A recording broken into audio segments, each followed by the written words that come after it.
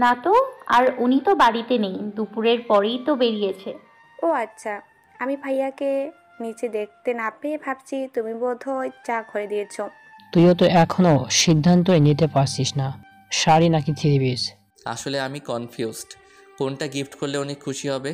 ওনাকে তো আমি কখনো শাড়ি পরতে দেখিনি। তাহলে কি শাড়ির কালেকশন বাদ দিব?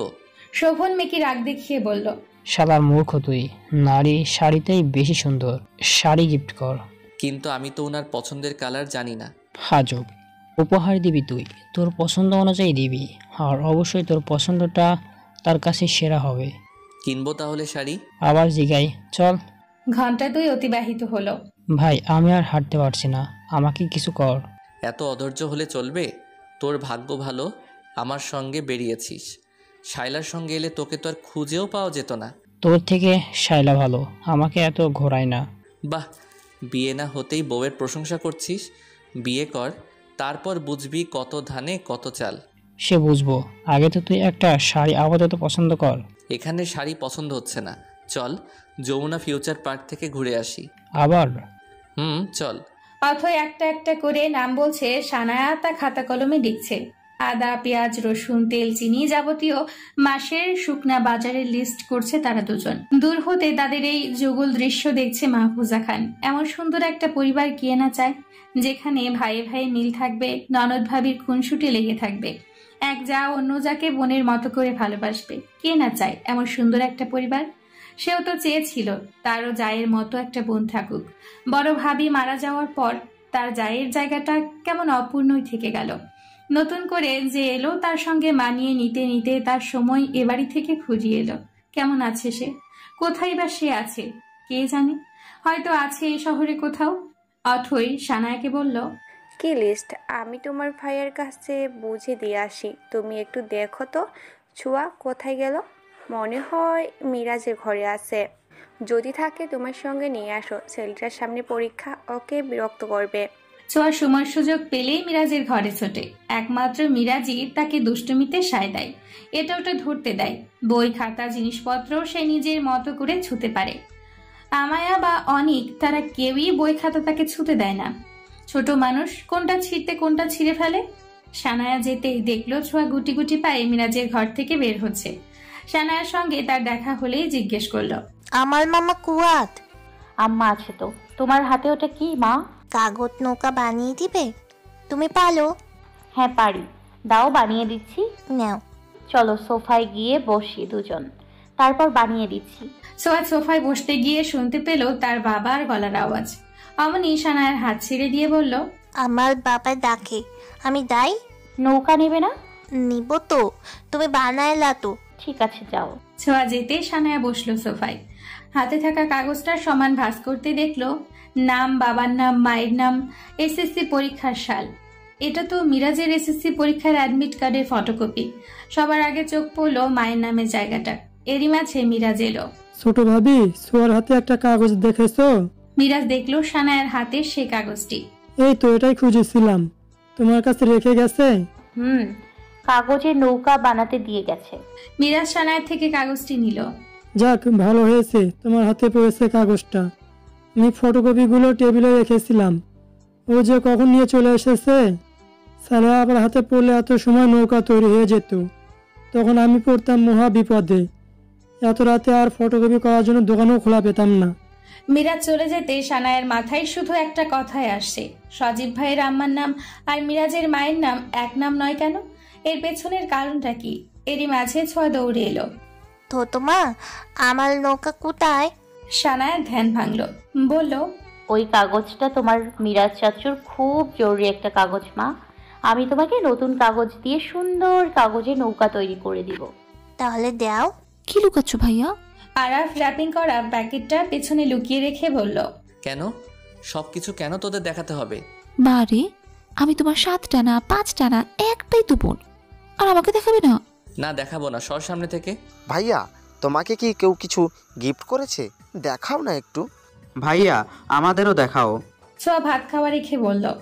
তো তো বাবা আমিও একটু দেখি। আরাফ পড়ল মহা মুসিবতে। এই মৌমাছির চাক তাকে ধরে ফেলেছে। তার গিফটের দফা রফা করে ছাড়বে। সানায়া কিচেন থেকে শোর গল্পে সদর দরজার দিকে একবার উকি দিল। কিসের গিফট? কার গিফট? সবাই কেন ওনাকে ঘেরাও করে রেখেছে? কি দেখতে চাইছে সকলে মিলে? কি হলো ভাইয়া? দেখাও আমাদের।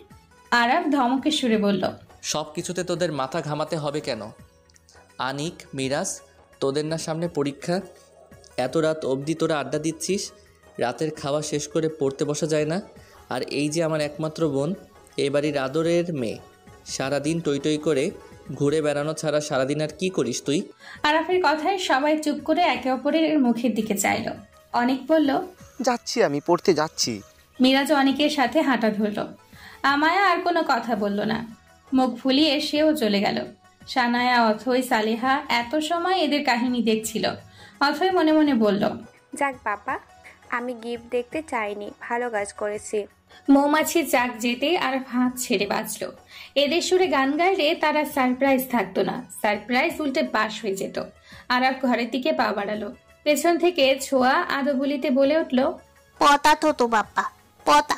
অথই মেয়েকে চুপ করার জন্য ইশারা করল। শুনল না ছোঁয়া। এক নাগারে কয়েকবার বলল ভাবি অনেক ভেবে দেখলাম। বিষয়টা নিয়ে তোমাদের সঙ্গে আলোচনা করে নেওয়াই ভালো। কোন বিষয়ে? দেখো শাইলা তোমাদের মধ্যেই ছোট থেকে বড় হয়েছে। তোমরা ওকে নিজের সন্তানের মতো করেই বড় করেছ। কখনো মা বাবার অভাব কি তা আমাদের কাছ থেকে দূরে থেকেও বোঝেনি। ছোটবেলা থেকেই ওর জীবনে যে কোনো সিদ্ধান্তই তোমাদের ওপরেই দেওয়া হয়েছে। তোমরা তোমাদের মতোই করেই ওকে গড়ে তুলেছ। ওর জীবনটাকে পরিপূর্ণ করেছ। তাই বলছিলাম যে শোনো আপা শাইলা সর্বপ্রথম তোমার মেয়ে। আমি ওর আরেক মা। ওর বিষয় যে কোনো কিছু তুমি আমার সঙ্গে সহজ সাবলীলভাবে নিঃসংকোচে বলতে পারো। মেয়েদের নিয়ে চিন্তা তো সব মায়েরই হবে। সব মাই তো চাইবে তার সন্তান ভালো থাকুক তার জীবনেটা সুন্দর হোক। আমি আসলে বলতে চাইছিলাম শাইলার বিয়ে নিয়ে তোমরা কি কিছু ভেবেছো? সত্যি কথা বলতে আপা শাইলার বিয়ে নিয়ে আমরা কোনো পরিকল্পনাই করিনি। ওকে আমি মানুষ করেছি তো, ওর মনোযোগ, ধ্যান, ধারণা সব কিছুই ওর পড়াশোনা নিয়ে। কীভাবে নিজের নিজের যোগ্যতা অর্জন করবে সেদিকে। আর আমি, আর তোমার ভাইজান, ওকে ওর যেভাবে সাপোর্ট দিয়েছি, ওর পাশে থেকেছি। সবই তো তেইশ সে পা দিল মেয়েটা। পড়াশোনা তো কমপ্লিট করেনি। আর দুটো বছর না হয় যাক, আমার বিশ্বাস সাইলার জন্য ছেলে খুঁজতে হবে না। ছেলেরাই আমাদের মেয়েকে খুঁজে নেবে। তা যা বলেছ। মেয়েটা ছোট থেকেই শান্ত। শানোর মতে চটপটে নয়। মেয়ে দুটো হয়েছে ঠিক দু রকম। একটা পড়াশোনা ছাড়া কিছুই বোঝে না, অন্যটা পড়াশোনার নাম শুনলেই দৌড়ায়। জানা তো ভাবি, আমার ছোট মেয়েটার কোনো বুদ্ধি হবে না। খারাপের সঙ্গে কেমন খ্যাচ করে? ছেলেটা ভালো বলে ওকে কিছুই বলে না।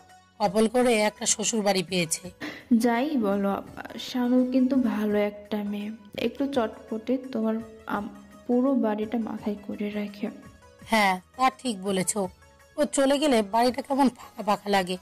ও একটা জায়গায় গেলে সেখানে কাঁপিয়ে তোলার ক্ষমতা রাখে। শারমিন বেগম আবারও বললেন ভাবি সমাজ মেয়েদের মধ্যেও বড় ছোট বিষয়টা আমার অত গুরুত্ব না দিলেও আত্মীয় স্বজনরা তো বিষয়টাকে খুঁটিয়েই চলে। সকলেই একটা কথা, বড় মেয়েটাকে ছোট মেয়েটাকে কেন বিয়ে দিলাম? আরও অনেক কথা। তোমরা তো মাসখানিকের ছুটিতে এসেছ, বিষয়টা নিয়ে কি আমরা ভাবতে পারি না? মেয়ে পড়ছে পড়বে, শানুও তো পড়াশোনা করেছে কোনো কিছু কি থেমে থাকে বলো?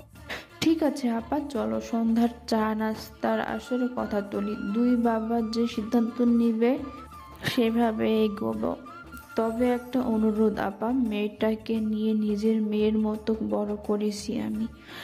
আমি কিন্তু মতামতটাকে আগেই গুরুত্ব দেব। তাতে তোমরা আমাকে যা ভাবার ভাবতে পারো। আমি কিন্তু ওর মনের বিরুদ্ধে যেতে পারব না। তোমার মেয়ের ব্যাপারে তোমাকে আমি কোনো জোর করব না। শুধু আমার কথাই তুলবো।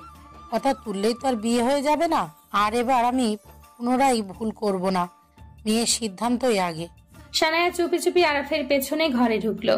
ঘরে একবার চোখ বুলিয়ে দেখল আরাফ কোথাও নেই। ওয়াশরুম থেকে পানির শব্দ আসতেই বুঝলো হয়তো শাওয়ার নিচ্ছেন।